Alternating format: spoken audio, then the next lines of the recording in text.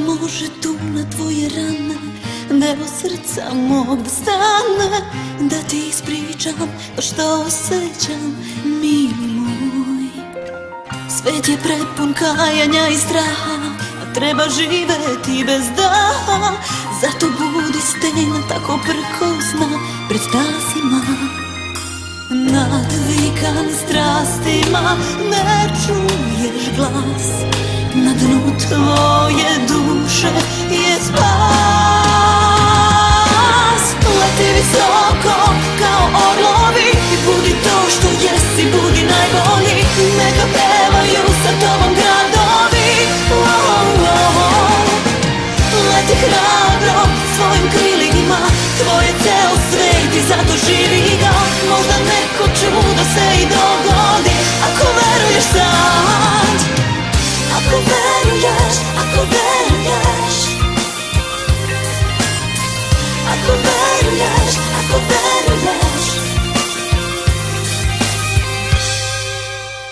Možeš da u sebe Kad je sumnja oko tebe?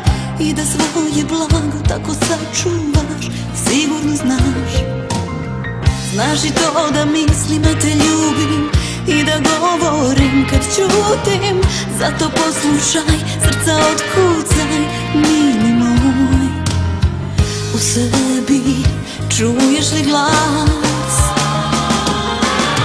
Leti visoko kao orlovi I budi to što jesi, budi najbolji.